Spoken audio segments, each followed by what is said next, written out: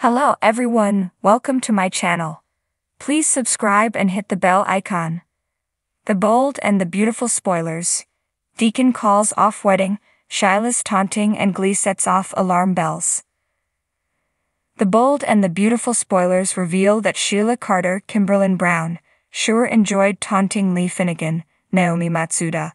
Although Sheila claims to be a changed woman for the better, her taunting indicates otherwise. Right now, Deacon Sharpe, Sean Kanan, is just reminding Sheila of their nice, peaceful, quiet life. This version of Sheila doesn't see the fun in that. Could Sheila be different somehow, and will it lead Deacon to call off the wedding? Keep reading and let's discuss what could happen. The bold and the beautiful spoilers, Sheila Carter's sacrificial survival, and B spoilers reveal that Sheila claimed she tried to stop Janet Weber aka Sugar, Kimberlin Brown, from hurting Steffy Forrester Finnegan, Jacqueline MacInnes Wood. While Sugar might have been trying to frame Sheila, I don't think Steffy's enemy was really trying to save her. It was stated that Sheila was shackled and starving in solitude for weeks. That's a lot of time for someone to think about what led to their situation. For some people, it changes them for the better, for others, it makes them even worse. B and B spoilers. John Finnegan's delusion. Deacon loves Sheila, so it's easy to see why he believes in Sheila. As for John Finn Finnegan, Tanner Novlan, just because someone survived an ordeal doesn't mean they are heroic or redeemed. At first, Finn just claimed Sheila tried to save Steffy's life. However, in the most recent episode, Finn told Steffy that Sheila tried to save her as well as Hayes Forrester Finnegan, Alexander and Chase Banks, and Kelly Spencer, Sophia Paris McKinley. The children weren't home at the time of Sugar's break in, but whatever you say, Finn. The bold and the beautiful spoilers, taunting Li Finnegan. The bold and the beautiful spoilers reveal that Deacon insisted on taking Sheila to the hospital.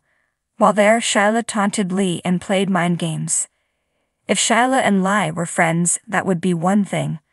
However, Sheila knows that she left Li for dead. Sheila knows all the other crimes and sins that she committed against Li and her loved ones. So for Sheila to taunt Li like that indicates she hasn't changed at all.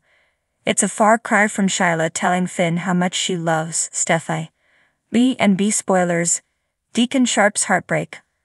On Monday, May 14, 2024, Deacon had to tell Sheila she shouldn't have taunted Lyle like that at the hospital. Sheila seemed to enjoy taunting her victim. Sheila said that behaving was no fun. If Sheila is going to taunt Lyle like that, would she cruelly do that to her other victims? Would Sheila taunt Steffy, whom she now claims to love? At some point, Deacon might realize that Sheila isn't the same as before her ordeal. Deacon thinks Sheila's changed for the better, but what if she hasn't? What if Sheila is even worse than before? Could Deacon make the heartbreaking decision to call off the wedding and his romance? The sun hung low over the Los Angeles skyline, casting long shadows across the sprawling Forrester estate. Inside the mansion, tension crackled like static electricity in the air. Deacon Sharpe stood in front of the mirror, adjusting his tie with shaky hands. Today was meant to be the day, the day he finally married the love of his life, Brooke Logan. Doubts gnawed at him like persistent rats in the cellar of his mind. Outside, a sleek black limousine pulled up, its polished exterior reflecting the uncertainty of the moment. Inside Brooke sat, radiant in her ivory gown, a vision of beauty and grace. Her heart fluttered with nervous anticipation, but beneath the excitement, a kernel of unease lurked. She clutched her bouquet tightly, the scent of roses mingling with the scent of doubt. Meanwhile, across town at the cliffside mansion, Sheila Carter sat perched on the edge of her seat, a glass of champagne in hand. She watched the drama unfold on the television screen, a slow, sly smile creeping across her face. Sheila had always been a master manipulator, weaving intricate webs of deception to achieve her desires. And today her desires centered on one thing the destruction of Brooke and Deacon's happiness. In a secluded corner of the Forrester estate, Quinn Fuller paced back and forth, her mind racing with conflicting emotions. As Brooke's best friend and confidant, she wanted nothing more than to see her friend happy.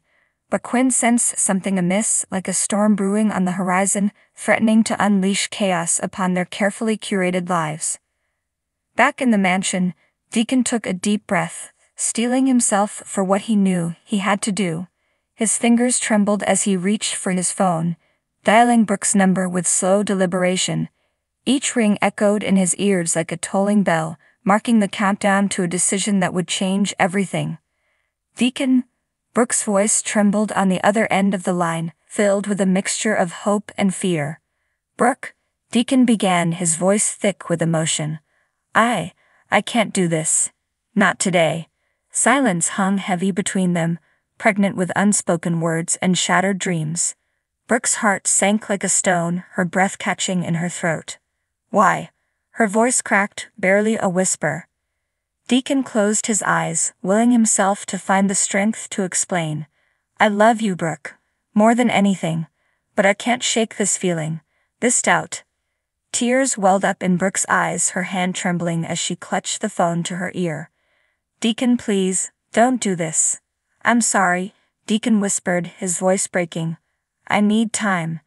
Time to figure things out and with those words, the fragile thread holding their future together snapped, leaving Burke adrift in a sea of uncertainty and heartache. Across town, Sheila's smile widened as she watched the drama unfold on the screen. Well, well, she murmured to herself, raising her glass in a mocking toast. Looks like the wedding bells won't be ringing after all. Quinn paced faster now, her thoughts spinning like a whirlwind. She had always been fiercely protective of Brooke, and now, more than ever, she felt a primal urge to shield her friend from harm. But how could she protect Brooke from the demons that haunted Deacon's heart? Back at the mansion, Deacon hung up the phone with trembling hands. He sank onto the edge of the bed, his head in his hands, the weight of his decision crushing him like a vise. Doubt gnawed at his insides, twisting and turning like a serpent coiled around his heart. I did the right thing. Deacon whispered to himself, trying to convince himself as much as anyone. I had to. But deep down, a voice whispered back, taunting him with the specter of regret. In the days that followed, the Forrester estate became a battleground of emotions. Brooke retreated into solitude, grappling with the shattered fragments of her dreams. Quinn stood steadfast by her side, offering silent support and a shoulder to lean on. Meanwhile, Sheila Carter prowled the halls of her mansion like a lioness on the hunt. Her plans had been set in motion, the first domino tipping into the intricate cascade of events she had meticulously orchestrated. But Sheila knew better than anyone. In matters of the heart, chaos reigned supreme. At the cliffside mansion, Glee watched the turmoil unfold with a furrowed brow. As Sheila's confident and loyal ally, Glee had always been privy to her employer's schemes and machinations. But now a seed of doubt sprouted in her mind, like a fragile shoot pushing through the cracked pavement of certainty. Are you sure about this, Sheila? Glee ventured cautiously, her voice tinged with concern. Sheila turned to face her, her eyes glittering with determination. Trust me, Glee.